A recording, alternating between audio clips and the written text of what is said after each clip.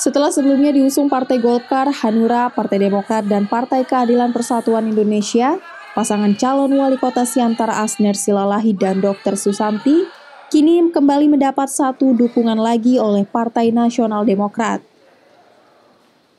Surat rekomendasi tersebut langsung diserahkan Ketua Dewan Pimpinan Wilayah Partai Nasdem Sumatera Utara Iskandar ST.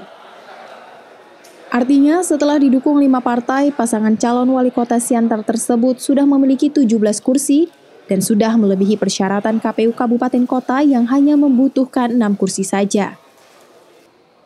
Menanggapi hal tersebut, Asner Silalahi mengucapkan syukur telah mendapatkan restu dari lima partai politik tersebut.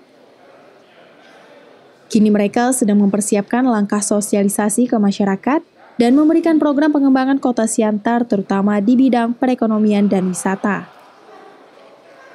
Selain itu, nantinya kota Pematang Siantar akan dijadikan kota penunjang wisata di samping kota-kota lain.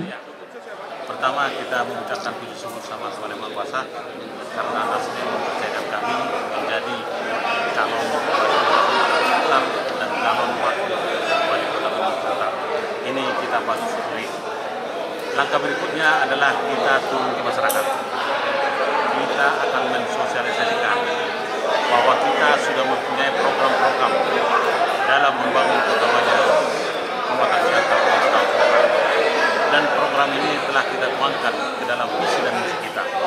Terutama kita nanti akan memperbaiki infrastruktur Pematang Siantar yang sudah banyak ketinggalan Tim Liputan Kompas TV Medan Sumatera Utara